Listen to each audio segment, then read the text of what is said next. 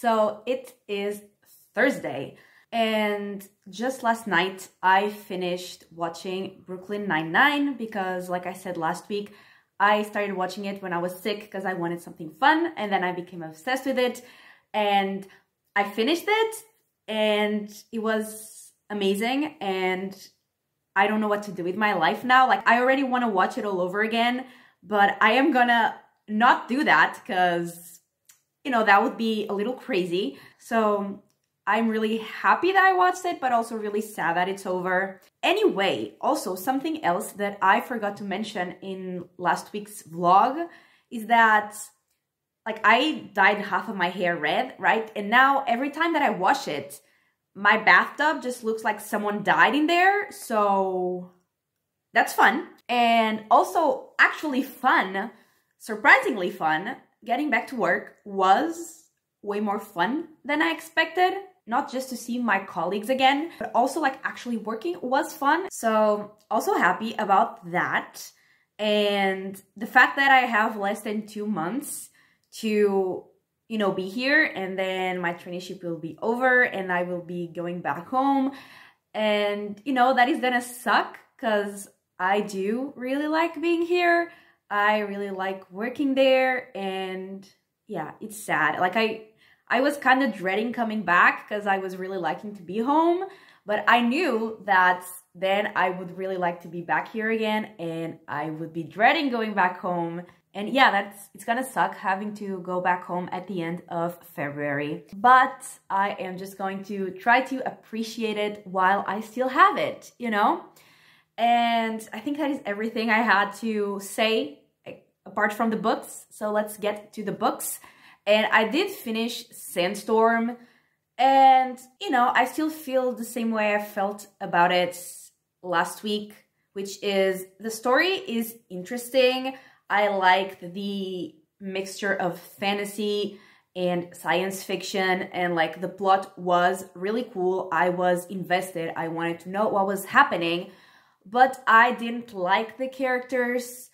I didn't like they didn't feel like real people. I don't know. They didn't really have much of a personality and they didn't feel like you know, different people. So, you know, not liking the characters kind of makes it harder to care about the plot. I like the plot, but I didn't care if like the characters were in danger or like whatever was happening to them. I wasn't really worried.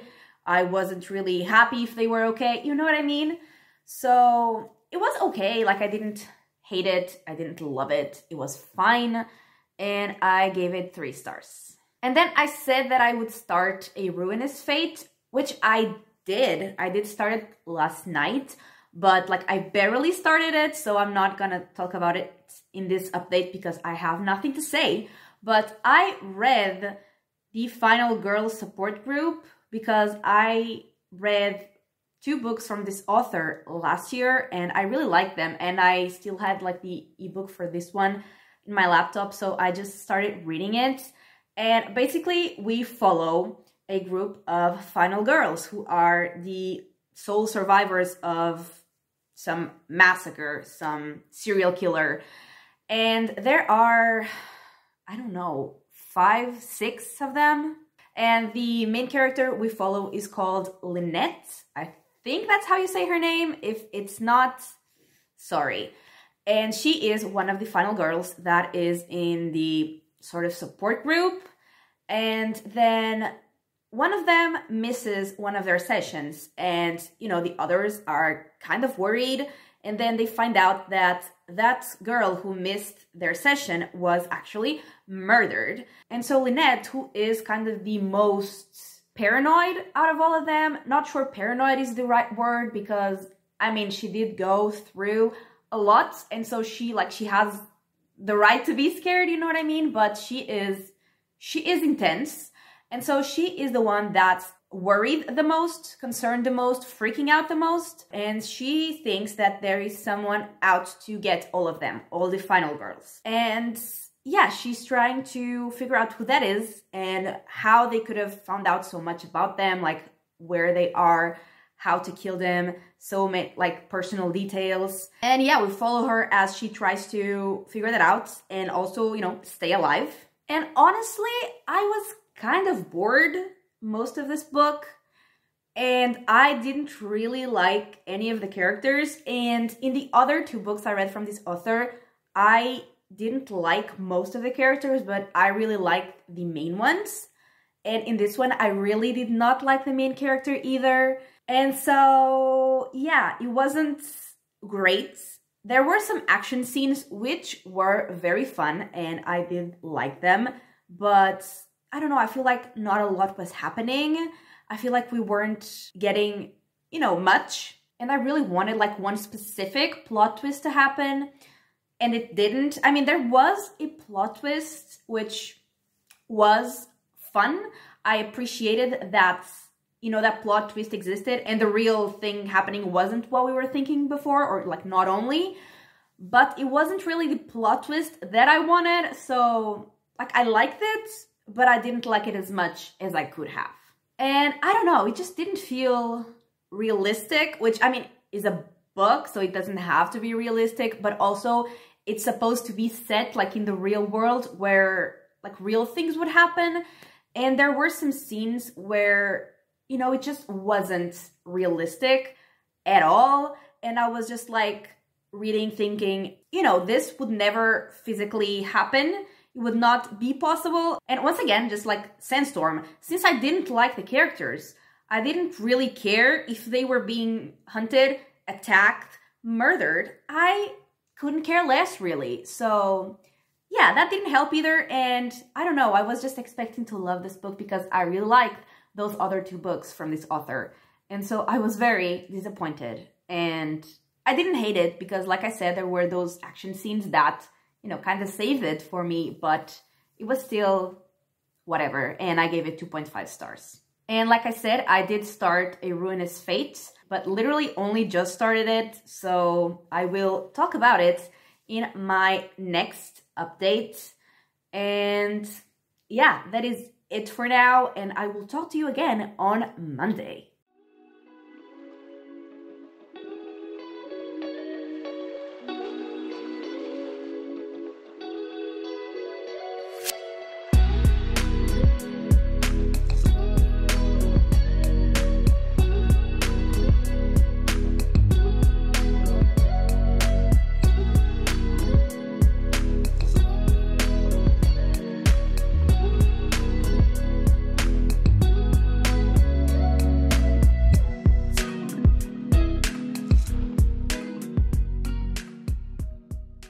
Okay, so it is Monday and I am a little over halfway through A Ruinous Fate. And I don't think I said it, but it's the first book in a fantasy series called Heartless Fates. And in this book, we follow Calliope or Kala, and she is a witch. But I mean, she's like half witch, half something else we later learn. And that's like something else is considered to be kind of a curse. And in that world, all of the witches, like their lives, their fates, are connected to some magical things, which are the witches' dice. And so they literally like have to roll dice, and whatever number comes up has to do with their fate. And Kala is like she abandoned her coven because she was like she was running for something because of what the dice have said about her fate. And she basically thinks that she is about to kind of be cursed again. And so she is on the run and she lives with two friends who are Hannah, who is that other thing that Kala is as well and is considered to be a curse, and Delphine, who is a siren. And Kala basically is like betrayed by her ex and she has to roll the dice again. And what she gets is really not what she wanted, but it's what she thought she would get. And she is kind of connected, or she might be connected to a war that will start between the witches and their gods, who are called fates. And basically, the gods are looking for six blood warriors to fight for them in that war. And Kala basically might be that, like the sixth and final warrior they are looking for. But then she meets some other people, and one of them is in the same situation as Kala. So he might be the last warrior or she might be the last warrior. And neither of them want that. So there might be a way to change their fate, but they have to go into the never ending forest, which I think they also call demonic forest or something like that. So doesn't sound fun, but there might be a way in there for someone to do a spell to basically change their fates. But obviously going into the never ending forest is not gonna be like I said, fun, not gonna be easy, and they're gonna still be in danger. And like I said, I'm only halfway through it, more or less, but I am really enjoying it. I really like the characters, like they read pretty young, but this is young adult, so expected. I really like Kala's friends, especially Delphine. She is iconic and I really hope like she doesn't turn out to be a bad person because I really, really like her and there are like different types of witches and there are also like other creatures. And I am still kind of you know confused about that like how the magic system works but that is to be expected in the first book in a fantasy series. So I'm not worried about that. And yeah really enjoying it having a lot of fun. So far there is like sort of a romance going on that I don't really care about but it's me so what else did we expect? But yeah, for the most part, I am having a really good time with that book. And that is everything that I have read since my last update on Thursday because I didn't read at all in the weekend. I was just not in the reading mood. So this was all Thursday and Friday, mostly Friday.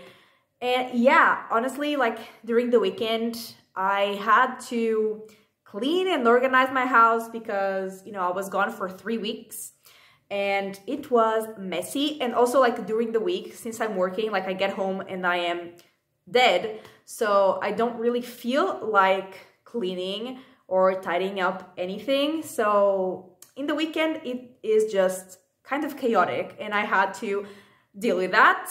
And yeah, that is it. That is everything. So let's just wrap it up. I read from page 475 to the end of Sandstorm, which was 133 pages. I read the Final Girl Support Group, which was 342 pages, and I read the first 240 pages of A Ruinous Fate, which gives me a total of 715 pages. And I mean, I did expect to read more than that this week, but like I said, I didn't read at all in the weekend, so it is what it is. But anyway, that is everything for this week's video. I really hope you enjoyed it, and if you did, give it a like and subscribe, and I will talk to you next time. Bye!